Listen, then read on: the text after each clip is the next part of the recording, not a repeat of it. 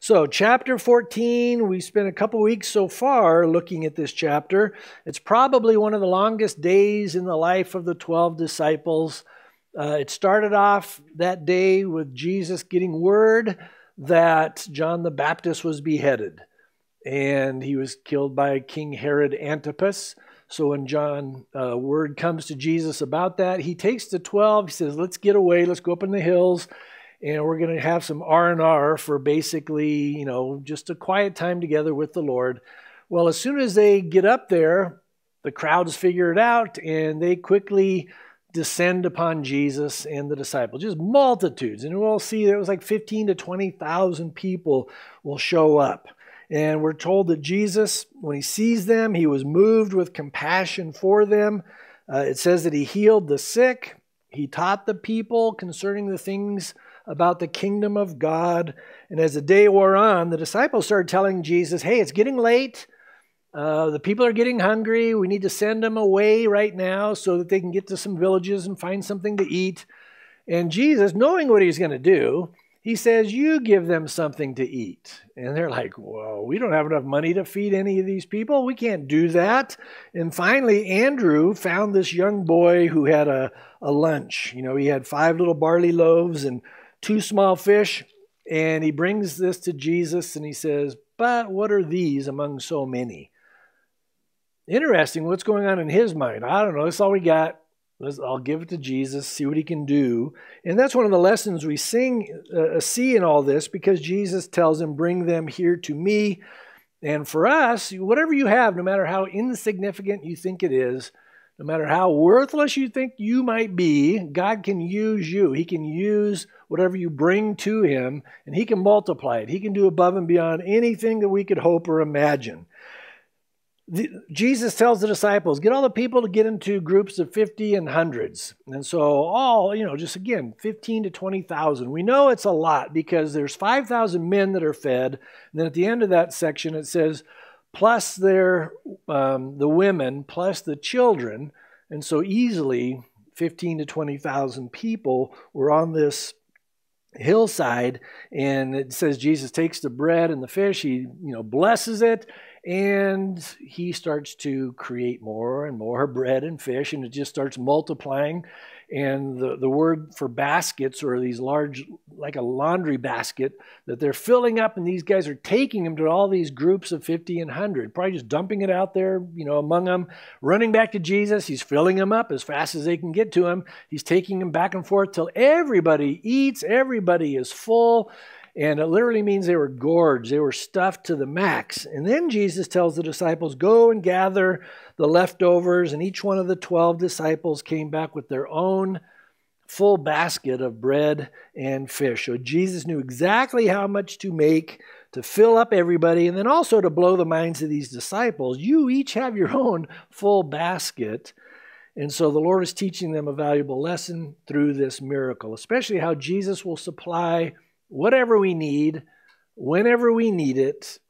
But then we saw how the multitude, they wanted to take Jesus by force. This is what the Gospel of John says. They wanted to make him king. So we're told here and in Mark's Gospel that Jesus made the disciples get in their fishing boat and he sends them off across the Sea of Galilee. Jesus, you know, sneaks up on the hillside and disperses the multitude, and then he just watches because he knows what's going to happen next. The disciples are being obedient. They go across the sea, and about halfway out there, they get this big storm hitting them, and they end up stuck there for about seven or eight hours because it was just around sunset when they take off. And Jesus will walk on water to them around four or five in the morning. It was the fourth watch which means it was like four or five in the morning. Jesus will come to them. And so they've been working, rowing for seven or eight hours. They're exhausted. And when Jesus walks out to them, it says they're just shocked. They're like, it's a ghost. And he says, no, no, no, it's I, or I am, ego eimi, don't be afraid. And so Peter's the one who says, Lord, if it's you, command that I come to you on the water. And so Jesus says, Come. And Peter literally gets out of the boat and starts walking on water. We don't know how far he walked, but he was walking close enough to Jesus to where he starts looking at the storm. He starts freaking out and he starts to sink. He says, Lord, save me. And Jesus reaches down and he picks him up. And then they get into the boat. And Jesus simply says, Oh, you have little faith. Why did you doubt? In other words, Peter, you're doing so good, but you got your eyes off of me. You know, you need to keep your eyes on me. And so when they get in the boat, we're told the storm cease. The disciples say, Truly, you're the Son of God. And they worshiped him. Again, Jesus is God the Son, worthy of our worship. If he's not God, then they would be committing idolatry by worshiping Jesus. And so they worship him. And then it says, instantly, in uh, I think it's Mark's gospel, they're, they're on the shore. They're there by Capernaum the next day. It's like, again, four or five that next morning. So a long day for the disciples. So we pick up at the end of chapter 14, starting in verse 34, and we'll go quickly through this. It says, When they had crossed over, they came to the land of the Geras, uh, Gennesaret. And when the men of that place recognized him, they sent out into all the surrounding region, brought to him all who were sick and begged him that they might only touch the hem of his garment, and as many as touched it were made perfectly well. And so, again, word quickly spreads throughout the surrounding region that Jesus is back. And apparently, the people had heard the story of the woman with the issue of blood for 12 years. Remember, we saw that earlier where she says her, you know, to herself, If I could only touch the hem of his garment, I know I could be healed. And, and so she does, and she's healed, and Jesus calls her out because he wanted her to come forward and testify what happened. And so word probably spread about her, and so now everybody's just wanting to touch the hem of his garment. Even if we just touch his garment, we'll be healed. And it says, all who did were made perfectly well. That literally means they were made completely whole. So Jesus is blowing people's minds. This was incredible. This was real. This, there's no gimmicks. There was no hype. It was just Jesus being Jesus. You know, he was doing what he wanted to do, how he wanted to do it, proving that he was the promised Messiah. So now the scene shifts as we come into chapter 15 because word comes out to the religious leaders, the Pharisees, what Jesus is doing, and they go up to him and they're going to be upset and they're going to complain. And that's usually what happens with religious people. You know, they don't like the freedom, the joy that we have in Jesus.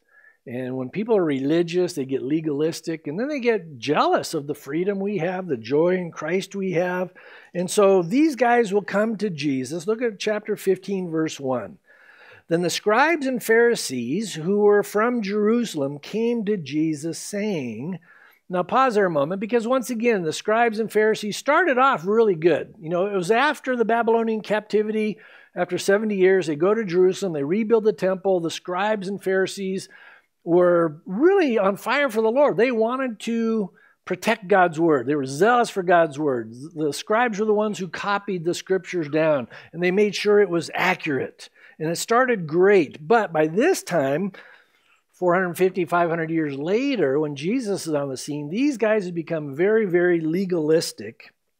And uh, their approach to God was based on their own actions, their, their way they came to God. It wasn't a relationship, it was very religious. And all these rituals and regulations they started to impose upon the people at this point. So they asked Jesus a question. Look at verse 2. They say, Why do your disciples transgress the tradition of the elders? For they do not wash their hands when they eat bread couple of things to take note of here. First of all, when they asked Jesus, Why do your disciples transgress the tradition of the elders? It's really a stupid question because you can't sin or transgress against man's traditions. You can sin against God's word, you can sin against God's commands, but you can't sin against man's traditions. And Jesus will point this out to them in a moment, but this shows us how they had elevated their own traditions to be equal to or above God's word. These guys are upset with Jesus because they're accusing all the disciples of not washing their hands before they ate this big meal that Jesus provided for them. Again, he just fed the multitudes. and they hear about the miracle, they're probably thinking, wow, we got to go examine this. And so they start asking around, did you guys do the ceremonial hand washing? I mean, they're not even concerned about or blown away by the fact Jesus just fed them with a little Lunchable. You know, they're always concerned about, okay, and so they had a ritual. You'd put your hands like this, they'd pour water over your fingers. And then you'd flip them over, they'd pour water over your fingers. And they wanted Jesus to do this to all 20,000 people so they would be ceremonially clean. And that's what they're grumbling and complaining about here. This had nothing to do with dirty hands, but they came up with this, you know, elaborate ritual just to satisfy themselves. And they looked at this as a measuring stick or a measuring rod, a standard for holiness and righteousness. The law talks about a person being defiled if they touched a dead carcass or something like that, but not by how you wash your hands. And so that's what these guys are doing. They're setting up this standard how righteous or unrighteous you are. And they're thinking, you guys are doing all these things wrong. You're unholy. You're unrighteous, Jesus, because you didn't do this ceremonial cleansing. This was not God's measuring rod, by the way. We're declared righteous only by faith in Jesus Christ alone. Period. When you give your life to the Lord, you put your faith and trust in Him, and you receive Him as your Lord and Savior, He declares you righteous. He's not looking under your fingernails. Well, how clean are those fingernails? I mean, he doesn't care about that, and we'll see that again in a moment. So, check out Jesus' response to their accusation here. He's going to answer their question by asking them a question, which is a very Jewish thing to do.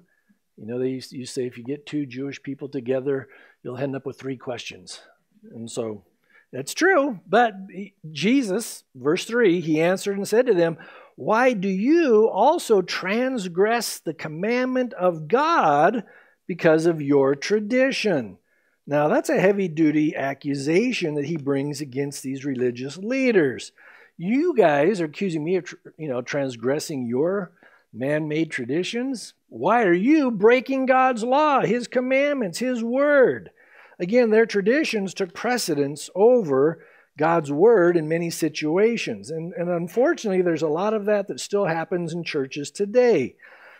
A lot of churches will place their doctrines, not God's word, but their doctrines, their rituals over the word of God. They'll put their opinions, they'll put their false teachings above the word of God. For example, some churches will teach you're not really saved unless you've been baptized in water. And then there's a church a denomination, they'll go so far as to say, well, you're not saved unless you're baptized in water, and it has to be by our pastors in our denomination, or you're not saved. What does Jesus say about that? Well, he saved the thief on the cross. What did the thief say? He couldn't get down and get baptized. He said, Lord, remember me when you come in your kingdom. So this is what Jesus says to him. Luke 23, verse 43. Jesus said to him, Assuredly I say to you, today you will be with me in paradise. Had nothing to do with baptism. It had to do with faith in Jesus Christ. Baptism is good. It's an ordinance that we have, like communion is an ordinance. He only gave us two ordinances baptism and communion. We do these things because we are saved, not to get saved or being part of our salvation. No, we do these things, we do anything good for God because we are saved, not to enhance our salvation or earn something from the Lord. Not at all. It's faith alone in Christ alone that saves a person. Paul says this in Romans 1:16, "For I am not ashamed of the gospel of Christ, for it is the power of God to salvation for everyone who believes, for the Jew first and also for the Greek." The gospel of Christ it's the power of salvation. And it simply refers to the fact that Jesus died on the cross and shed his blood for your sins, for my sins. He was sacrificed in our place, he was the substitute for our sins. He paid the price we could never pay. And again, it was his perfect, spotless blood that was the only acceptable payment for our sins. But after three days, Jesus is in that tomb, and after three days, he came back to life. He rose from the dead. And it's only because he's alive today that he can offer somebody the free gift of eternal life. If he stayed dead and buried and didn't rise up, then Paul says there in 1 Corinthians 15 that we are of all people most to be pitied. In other words, we're without hope. Might as well just go hang out and play because if Jesus didn't rise up from the dead, then there is no hope of life after death. But because he did, whoever comes to him by faith alone, he will give you eternal life because he's the author of life. We hold fast to verses like this Ephesians 2, verses 8 and 9. It says, For by grace you have been saved through faith, and that not of yourselves, it is the gift of God, not of works, lest anyone should boast. Again, salvation is a free gift from Jesus to us, and there's absolutely nothing we can do to merit or earn, and we certainly don't deserve God's salvation. So we need to be careful to not add anything like traditions of men to the gospel message. Some churches will say, well, you, you're saved when you're baptized as a baby. And some of you, I know many of you grew up in a denomination, a church that practiced that. You get baptized as a baby. I've run into so many ex Catholics, you know, that said, I didn't know anything about Jesus. I had no idea. But they, they try to say, well, you're saved, you're good with God because you were baptized as a baby. And they have no idea who Jesus is. They don't know what the Lord has done for them. They think he's still stuck on a cross somewhere. So sad. Some will say, Well, I'm saved because I'm a member in good standing. My name is written in this church membership book. You know what? That means diddly squat. Our name must be written in the Lamb's Book of Life. If it's not in the Lamb's Book of Life, it doesn't matter where your name is written, what church denomination you're part of. Others may say, well, you're only saved if you speak in tongues. Well, not according to Paul. He says, Not all speak with tongues, so that's not the measuring rod either. Again, there's a thousand different things people can try and add to the finished work of Jesus Christ upon the cross. I love what Paul says here. Look at this verse, 1 Corinthians 1 17 and 18. This should solidify it as far as baptism and regeneration and all that. For Christ did not send me to baptize, this is the Apostle Paul, but to preach the gospel so, you know, look at that. He didn't send me to baptize. If baptism was part of the gospel, then he wouldn't have said this. He didn't send me to baptize. No, he sent me to preach the gospel. And then he goes on to say, I didn't baptize hardly any of you guys. A couple of you, Gaius and Stephanas, but the rest, I, that's not why I came. I didn't come to baptize, but to preach the gospel, not with wisdom of words, lest the cross of Christ should be made of no effect. For the message of the cross is foolishness to those who are perishing, but to us who are being saved, it is the power of God. And when you really think about it, man's traditions are death when it comes to our relationship with Jesus. Traditions often cause people to go through the motions of Christianity, and we look religious, but they cannot draw our hearts closer to the Lord. This is why Jesus says things like John chapter 4, verse 24, where he says, God is spirit, and those who worship him must worship in spirit and truth. It's not through burning candles or incense. It's not through looking through stained glass images of Jesus. It's not through playing in a sandbox. Some of you know what I'm talking about. Where you draw your sins in the sand and then you picture, visualize Jesus wiping it away. No, you're saved. Your sins are washed away because of faith in Christ, not because of some sandbox or litter box. Might as well be.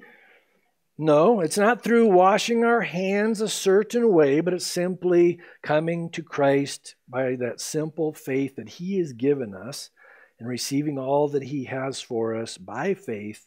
And how wonderful it is to know that Jesus loves us, He's living in us, He'll never leave us or forsake us. And so, watch how Jesus gives us an example of what these Pharisees were doing concerning their traditions. Again, verse 3 he says, Why do you also transgress the commandment of God because of your tradition? Verse 4 says, For God commanded, saying, Honor your father and your mother, and he who curses father or mother, let him be put to death. I wonder how many of you parents have that over your child's bed. Probably not many, hopefully. Verse 5 But you say, Whoever says to his father or mother, so this was this is a tradition that the Pharisees came up with. Whatever profit you might have received from me is a gift to God. then he need not honor his father or mother. Jesus says, Thus you have made the commandment of God of no effect by your tradition. So here Jesus uses the fifth commandment, you know, honor your father and your mother, as an example of how the Pharisees changed God's word and inserted their own traditions and ideas. Honor your father and mother. Again, the fifth commandment. God's point is they took care of you when you were young, when you were frail, when you couldn't, you know, do anything for yourself. You were weak and vulnerable. Now, honor them. They're weak, they're vulnerable. They can't take care of themselves. Take care of your parents. I know that's hard for a lot of people because some of us had abusive parents, some of us had alcoholic parents. But what a great testimony it is when we can show the love of Jesus to our mom, to our dad, when they are no longer a threat to us, but they're in that vulnerable state. Um, you know, Elizabeth was blessed to be able to take care of her mom for two years, and then um, the last three months of her life when she you know she had alzheimer's she stayed with us until she went home to be with the lord and my mom stayed with us for about a year and you know you do what you can do but be that as it may the pharisees here they came up with their own loophole to get out of caring for your frail parents they told the people just tell your parents, sorry, mom and dad, we have dedicated all of our extra money to the temple. So we give all of our extra money to these Pharisees, and they're going to take care of the temple. So I'm sorry, you're out of the picture. There's a lot of that going on today. Some of these televangelists, they'll say, hey, write us as number one in your will. There's a lot of groups that do these type of things. But tell your parents you can't help them because you're giving your money to take care of the temple. They bypass God's clear teaching by coming up with a new man made tradition. But Jesus knew they were full of covetousness. He knew their greed. He knew that they were just hucksters and they were substituting the word of God with their tradition. So look what he calls them, verse 7 hypocrites. Well, did Isaiah prophesy about you, saying, These people draw near to me with their mouth and honor me with their lips, but their heart is far from me.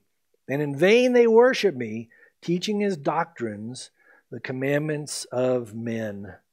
Notice Jesus calls them hypocrites. 21 times Jesus calls the Pharisees hypocrites. We've seen this before. Hypocrites, the Greek word, simply means one who wears a mask. Their Pharisees are wearing a mask. It's what an actor would do. They would put on different masks. You've seen the images of the mask they'd put on. That'd be their character. So that's the Pharisees. They're just playing a part. They're acting righteous. They're acting holy. But Jesus says their hearts are far from the Lord. And so he uses Isaiah 29 to point this out. In our vernacular, we, we would say they talk the talk, but they don't walk the walk. You know, their lips say all the right things, but their hearts are far away from God. God is always most concerned about our hearts. When He has our hearts, He has everything. You know, He leads us, He guides us, He strengthens us, but He works within our hearts and our minds, but the seat there is our hearts. He doesn't want us just going through the motions of worship.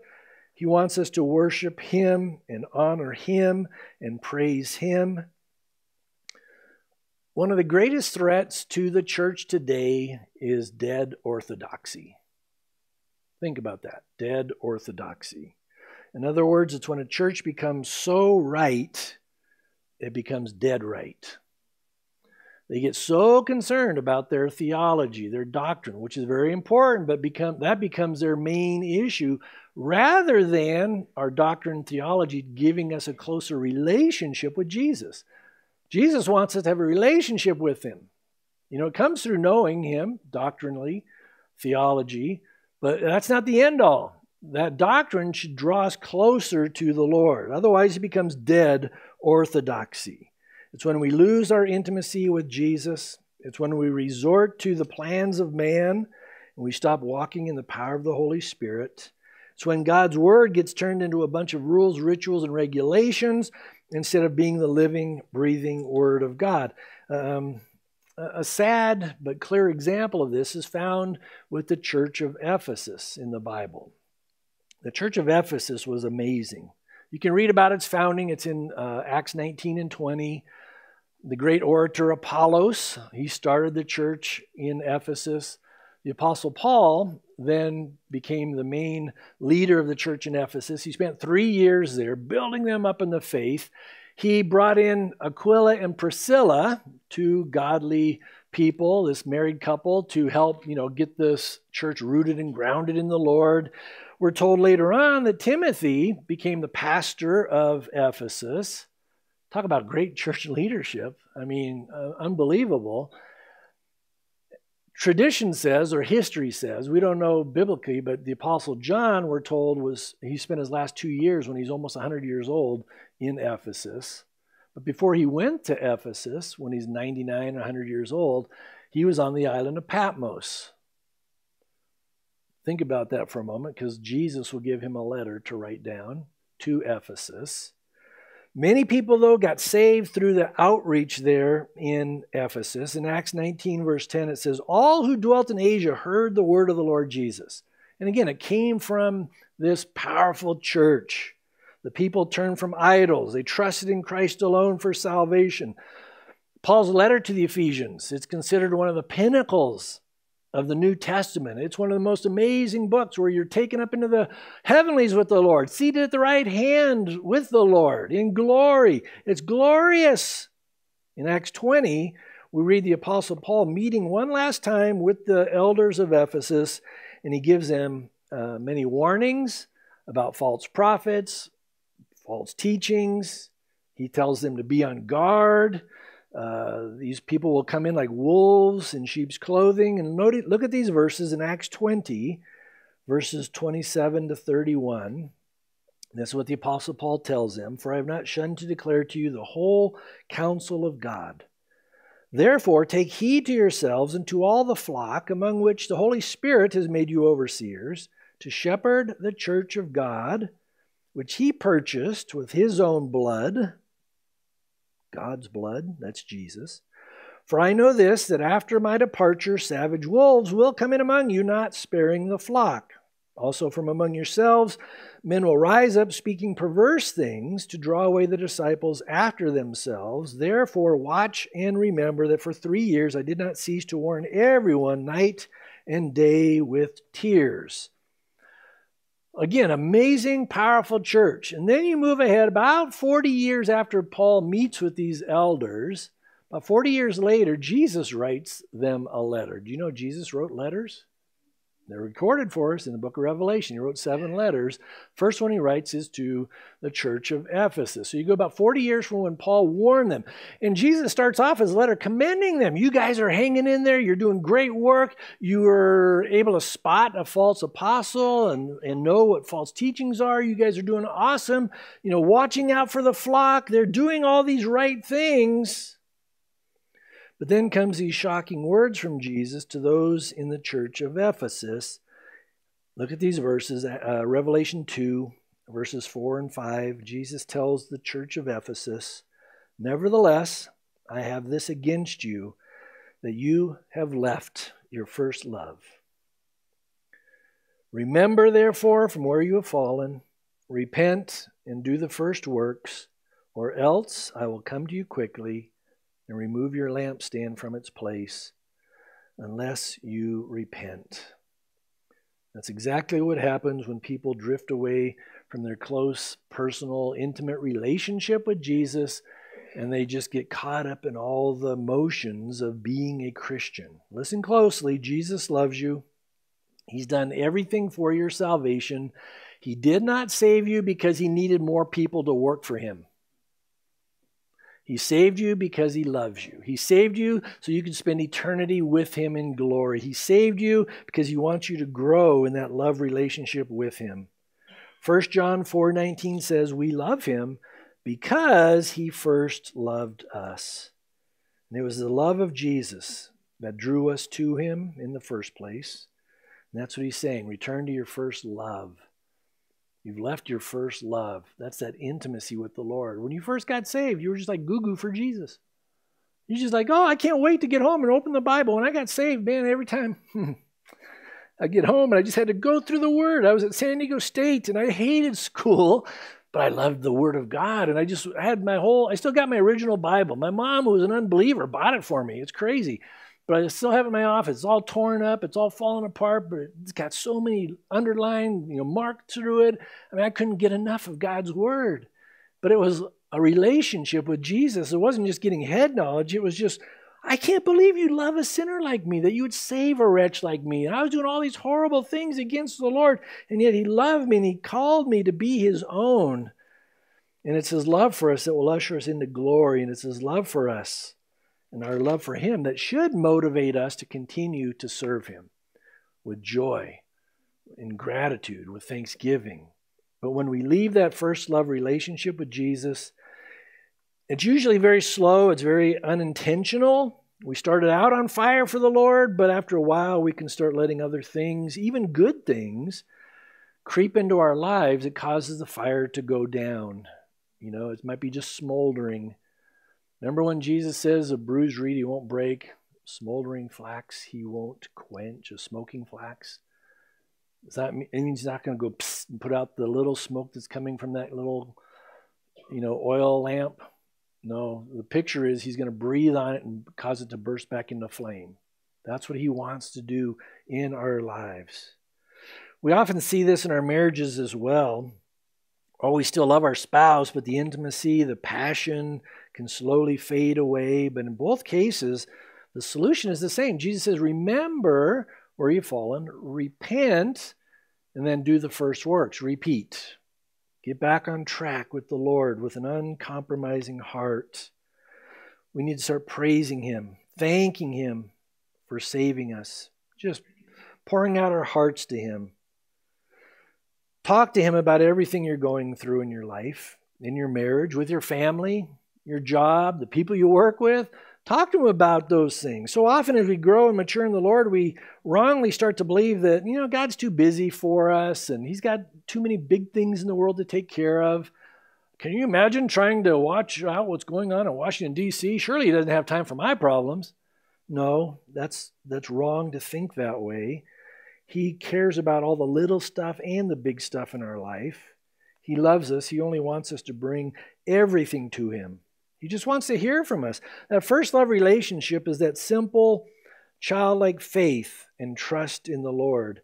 But oftentimes, the more we grow and mature as a believer, so often our intellect can get in the way. And this is where dead orthodoxy can become an issue. For example, when I got saved, I didn't know anything. What's omniscience? What's, you know, omnipresence? What's omnipotence? I mean, I didn't know those things. I just knew Jesus loved me. And he wanted me to talk to him. He wanted me to just draw near to him. But then you grow him and, oh, yeah, I know he's omniscient. He knows everything about everything. He knows everything about me. So why even bring all these things to him? Because he already knows. You know, we can become too intellectual to where we stop trusting him. Listen, those things should never cause us to shy away from God. Yes, we're to grow, we're to mature, but those things should never cause us to assume things about God assume what he's probably going to do in any given situation because when I start thinking that way, I'm actually placing my thoughts, my ideas above his or equal to his. And that's not a good thing to do. Come to him like a simple child and look at him as Abba, Father, as Paul says, Papa, Daddy. His ways are so much glorious, so much higher than our ways. But when we stop trusting, when we just start thinking or, or assuming, well, I think God would probably do this, so I'll just do it, that quenches the Holy Spirit. That really grieves the Holy Spirit.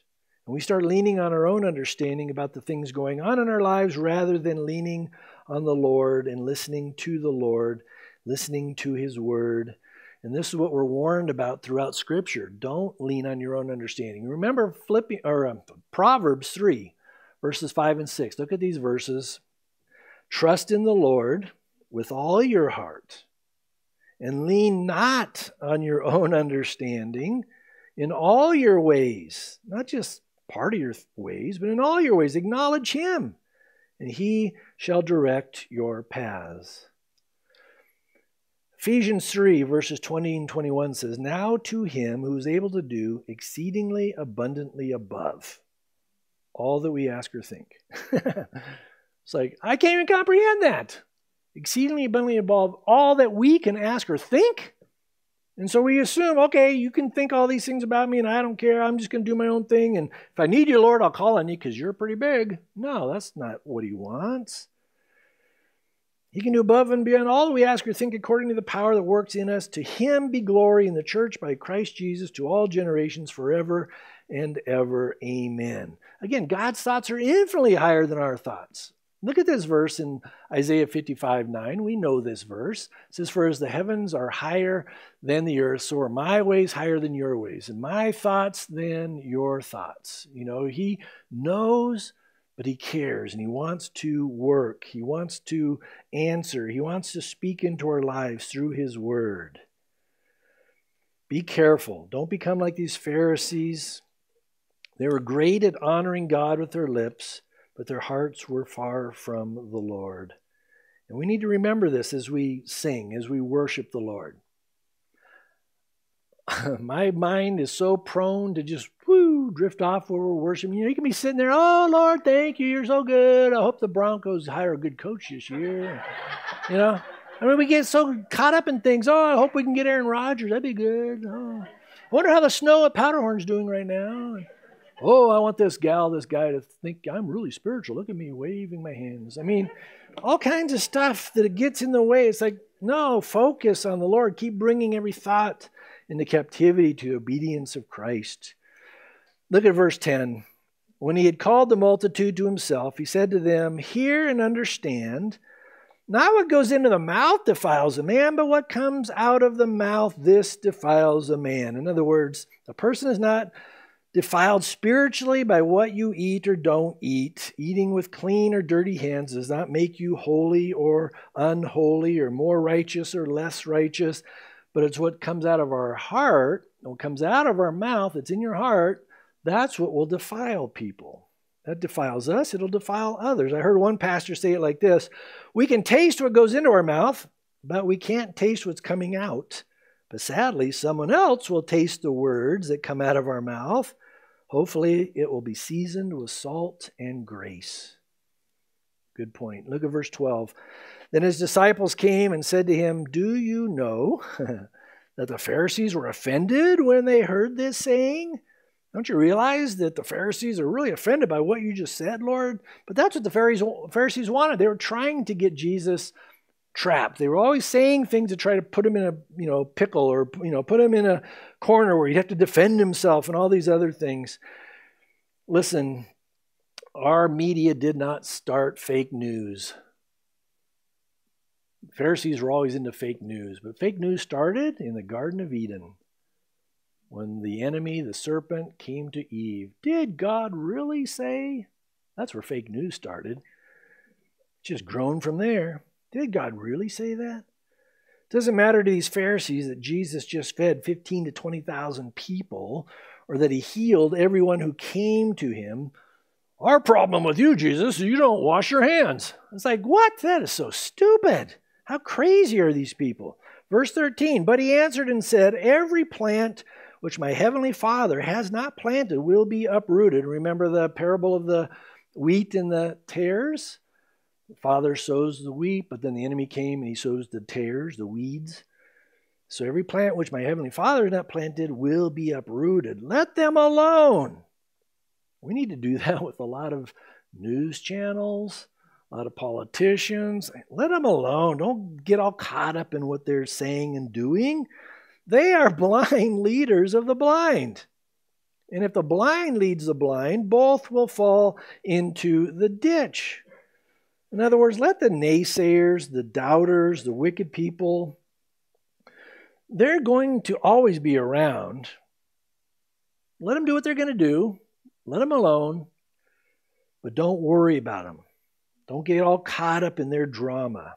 God will judge them in the end. We need to keep our eyes on Jesus. This world will fall into the pit, but we have the Savior. He's going to lead us to, well, he's our good shepherd. He leads us to the still waters, the green pastures.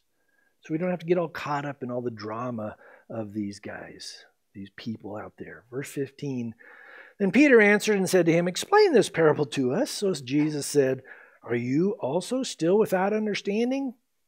Do you not yet understand that whatever enters the mouth goes into the stomach and is eliminated? Is that clear to everybody? I don't need to go into details about that, right? Okay. Pretty simple. But those things which proceed out of the mouth come from the heart, and they defile a man.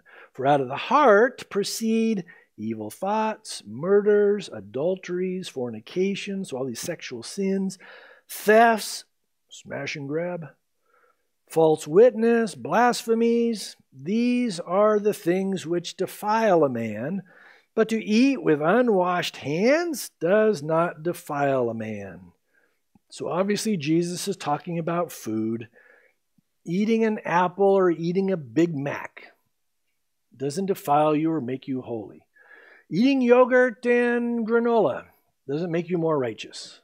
Eating pizza doesn't make you less righteous. Eating a Big Mac might make you sick. Oh, sorry. Um, now, if we get In-N-Out here soon, that'll make you holy and righteous. you know what I mean? On the bottom of the cup, it's got John 3:16 under there. On their fries, it's got Proverbs 3, verses 5 and 6 on there. I'm just kidding. I hope we get it In-N-Out, but it won't make you holy or righteous or unholy or unrighteous. It's what we allow into our hearts. That's what Jesus is saying. That is what is most important. Jesus didn't come here to tell us how to wash our hands and have clean hands. He came to cleanse our hearts of all sin. He came to cleanse us of all unrighteousness. And we need to guard our hearts from the wicked, sinful stuff that tries to hinder our close, intimate relationship with Jesus. That's the bottom line. It should always come from a heart that He fills up overflowing with love. Love is the beginning, love is the end. God is love. Do we love the Lord with all of our heart, mind, soul, and strength? I know there's always a lot more room to grow in that love relationship with Him. We got time. So turn with me real quick to Colossians chapter 3. It's not um, on the screen, but let's look at a few verses here in Colossians 3. I'll end with this. This is always my go to section of Scripture as far as keeping priorities straight and keeping our focus on the Lord. Make sure we keep our eyes looking to Him.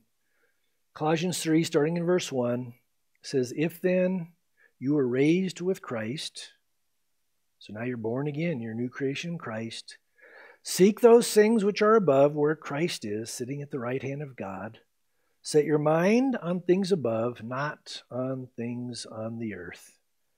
For you died, in other words, you were crucified with Christ, and your life is hidden with Christ in God. When Christ, who is our life, appears, then you will then you also will appear with him in glory. Therefore, put to death your members, your physical body parts, which are on the earth fornication, uncleanness, passion, evil desire, and covetousness, which is idolatry. Because of these things, the wrath of God is coming upon the sons of disobedience, not upon the bride of Christ, but those who were in rebellion against God, in which you yourselves once walked when you lived in them. Verse 8 But now you yourselves are to put off all these anger, wrath, malice, blasphemy, filthy language out of your mouth. Do not lie to one another, since you have put off the old man with his deeds, and here's the key have put on the new man who is renewed in knowledge according to the image of him who created him. so we're to set our minds on things above, get into the Word of God. Then he starts to transform your thinking. He transforms your mind through the Word of God, and then you start to see who he really is and how awesome God is.